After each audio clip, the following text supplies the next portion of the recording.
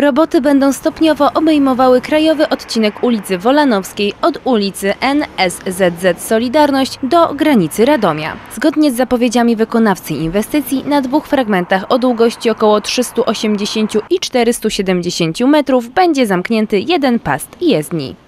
Te prace to tak naprawdę e, prace związane z wszystkim dookoła, czyli budową e, zarówno chodników, jak i e, ścieżek rowerowych, bądź też ciągów pieszo-rowerowych. Oczywiście zaczniemy od usuwania kolizji, ale jednocześnie będą szły prace związane z budową samej ulicy, czyli zerwanie nawierzchni asfaltowej, poprawa całej podbudowy, wymiana tej podbudowy, później położenie nowej nawierzchni, oznakowanie, czyli wszystko to, co faktycznie musi odbywać się podczas takich klasycznych, dużych e, robót inwestycyjnych, jak chociażby ta e, przy Wolanowskiej.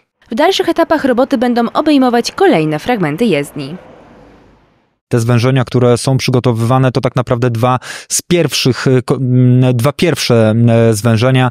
Kolejne również są e, w planach, także szykujmy się na przysłowiowe wahadełka, e, które będą oczywiście sterowane sygnalizacją świetlną. MZDIK apeluje do wszystkich uczestników ruchu o zachowanie szczególnej ostrożności w tym rejonie. Według zapowiedzi przebudowa Wolanowskiej ma się zakończyć pod koniec października 2025 roku.